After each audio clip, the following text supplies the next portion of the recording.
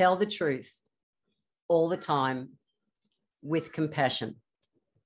The key word in this is compassion. These are the eight most powerful words I think that there are out there, and they have such a big impact, or they can have such a big impact on people's lives. I've always prided myself with being the person who I have no filter. I am me straight up, just the way I am. However, in the past, I may have told the truth all the time, not necessarily with compassion, to the point that it can have hurt another person. And that's not cool. So I want to talk about this one because it's a big one that I'm still learning to master. It's not a hundred percent kind of habit. I'll catch myself off guard when I'm sharing a truth uh, and have to not backtrack, but then tweak, consciously tweak what I'm wanting to say so that it can land with compassion. And uh, it's been a big learning for me. So why, that's why I want to talk about today. This is only a short one but I think it's really important. I first learned about the adding the compassion part on the end from one of my mentors, David T.S. Wood. Cool bloke, crazy Canadian, and challenges me the most. He really does. He's a shit. I love him, but at the same time, he just challenges me the most. And this is one that I've chosen to integrate into my life because I know the impact. I know the impact when someone shares a truth with me in a compassionate way uh, and absolutely, I have stormed my way through life, the majority of my life, and except for the last few years, I've really taken note of how I show up and still being me 100%.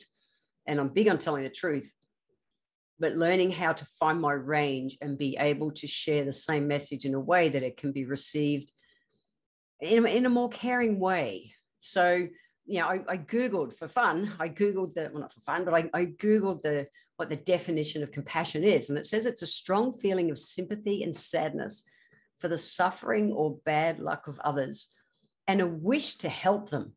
So it's kind of like, for me, I take that as uh, I've got to deliver something that necessarily isn't going to be something that they want to hear sometimes, but having the care that I'm, I'm wanting to share it in a way to help them and not have them feel a pain through it. Although we know that in life, sometimes the truth just hurts.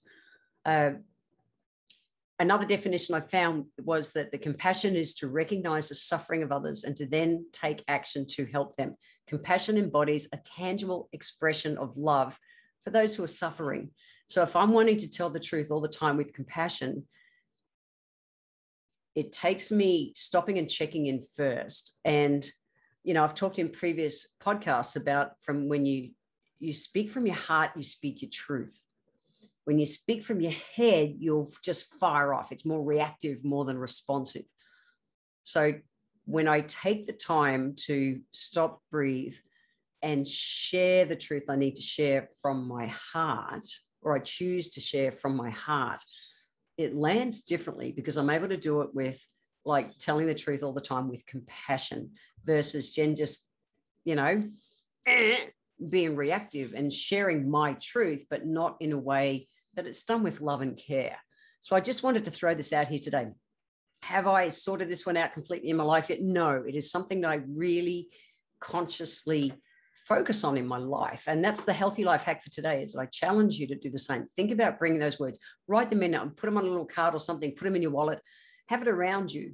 Uh, tell the truth all the time with compassion and see how it goes for other people.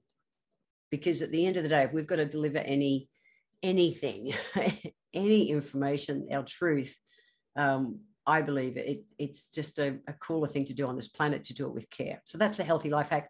Have fun playing with that one. It's like I say, I'm still working consciously on it, but it's one that I really know the value in doing for me.